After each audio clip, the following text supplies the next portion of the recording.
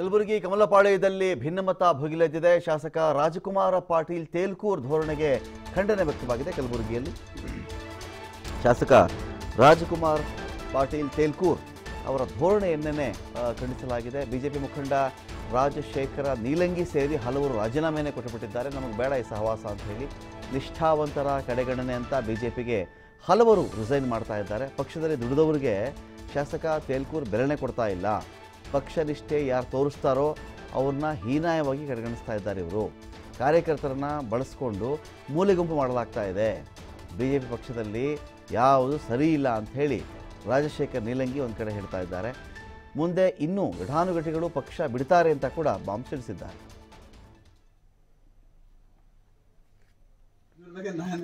ಇದಿರಲ್ಲ ಹಿಂಗೆ ಇವರಿದ್ರು.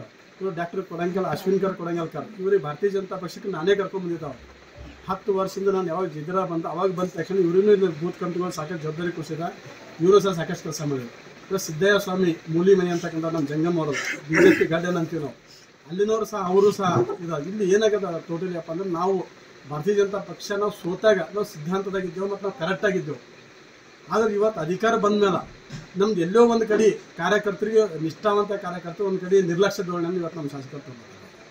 ಇದು ಸಾಕಷ್ಟು ಒಂದು ಬಿ ಜೆ ಪಿ ಗೆಲ್ಲಿಸ್ಬೇಕಂತಕ್ಕಂಥ ಎಷ್ಟೋ ಕಾರ್ಯಕರ್ತರು ನಾವು ನೋಡ್ತೀವಲ್ಲ ನಮ್ಮ ಜೀವ ಬಂದಾಗ ಸಿನಿಮಾ ಬಿ ಜೆ ಪಿ ಗೆದ್ದಿದ್ದದೇ ಇಲ್ಲ ಅಂತಕ್ಕಂಥ ಮೂವತ್ತು, ನಲವತ್ತು ವರ್ಷ ಕಾರ್ಯಕರ್ತರ ಒಂದು ಹಂತ ಎಲ್ಲ ಕಾರ್ಯಕರ್ತರ ಪರಿಶ್ರಮದಾಗ, ಮತ್ತು ಇದಕ್ಕೆ ಗೆಲುವಿಗೆ ಎಲ್ಲರೂ ಕಾರಣ ಒಬ್ಬರೇ ಇಬ್ಬರು ಅಂತಕ್ಕಂಥದ್ದು ಸೇಡಂ ತಾಲೂಕಿನ ಇತಿಹಾಸದಾಗ ಮೊದಲನೇ ಬಾರಿ ಭಾರತೀಯ ಜನತಾ ಪಕ್ಷಕ್ಕೆ ಐದು ಸಾವಿರ ಲೀಡ್ ಬಂದಿದೆ.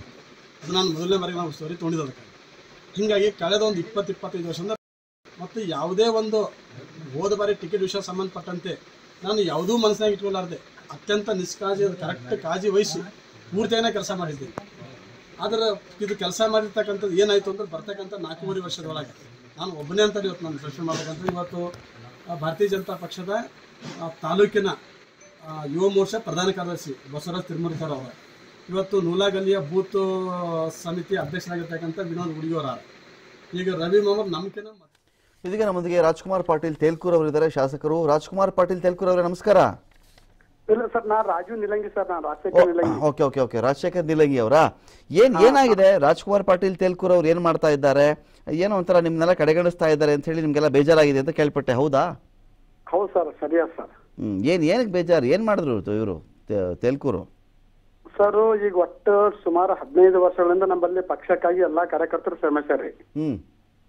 ಎಲ್ಲರೂ ನಿಷ್ಠೆಯಿಂದ ಕೆಲಸ ಮಾಡಿರ ಸರ್. ಆದ್ರೆ ಇವತ್ತೇನು ಶಾಸಕರಾಗಿ ಆಯ್ಕೆ ಆದ್ರು. ಆಯ್ಕೆ ಆದ್ಮೇಲೆ ಏನಾಗ ಸರ್ ನಿಷ್ಠಾವಂತ ಕಾರ್ಯಕರ್ತರಿಗೆಲ್ಲ ನಿರ್ಲಕ್ಷ್ಯ ಧೋರಣೆ. ಅವ್ರಿಗೆಲ್ಲಾನು ಕೇಳೋದಿಲ್ಲ ಮಾತಾಡೋದಿಲ್ಲ. ಮತ್ತು ನಾವು ಯಾರ ಪಕ್ಷಕ್ಕೆ ಅಗನೆಸ್ಟ್ ಆಗಿ ಕೆಲಸ ಮಾಡಿ ಇವ್ರಿಗೆ ಗೆಲ್ಲಿಸಿದೀವಿ ಆ ಪಕ್ಷದ ಕಾರ್ಯಕರ್ತರು ಇವ್ರೆಲ್ಲ ಕೆಲಸ ಕೊಡ್ತಾರ್ರಿ ಇದು ಒಂದ್ ಸರ್. ಮತ್ತ ಇವತ್ ಸುಮಾರು ಒಂದ್ ಹದಿನೈದು ಇಪ್ಪತ್ತು ವರ್ಷದ್ದು ನಾನು ಬಿಜೆಪಿದಾಗ ಕೆಲಸ ಮಾಡೀನಿ. ಇವತ್ತು ಒಂದೇ ಒಂದು ಪದಾಧಿಕಾರಿಯಾಗಿನೂ ನಮ್ಗೆ ಆಯ್ಕೆ ಮಾಡಲು ಅವರು ಇದು ಮಾಡಿದ್ರು ಸರ್ ಅದಕ್ಕೆ ಆಯ್ಕೆ ಆಗಿಲ್ಲ ಇವತ್ತು. ಓಕೆ ಯಾವ ಪೋಸ್ಟ್ ಕೊಟ್ಟಿಲ್ಲ ನಿಮಗೆ? ಯಾವುದೋ ಪೋಸ್ಟ್ ಕೊಟ್ಟಿಲ್ಲ ಒಂದು ನಾಮಿನೇಟ್ ಮುನ್ಸಿಪಾಲಿಟಿ ದಿಲ್ಲಿ ತನ ನಮ್ದೇ ಸರ್ಕಾರ ಅದ. ಹ್ಮ್ ಹ್ಮ್ ಹ್ಮ್. ಹಾ, ನಾನು ಒಬ್ಬನೇ ಅಂತ ಸರ್ ಹಿಂಗ ನಾನು ಅಂತವ್ರು ಸಾಕಷ್ಟು ಜನ ಅರ. ಹ್ಮ್. ಮತ್ತೆ ಏನ್ ಕಲಬುರಗಿ ಬಿಜೆಪಿ ಕತೆ ಏನು ಈಗ ಈಗ ಈ ತರ ಆದ್ರೆ? ಸರ್ ಹೆಂಗ ಸರ್ ನಮ್ದು ಬಿಜೆಪಿ ಬಗ್ಗೆ ನೂ ಸಾವಿರ ಪಟ್ಟ ಅಭಿಮಾನ ಅದ್ರಿ ಹ್ಮ್.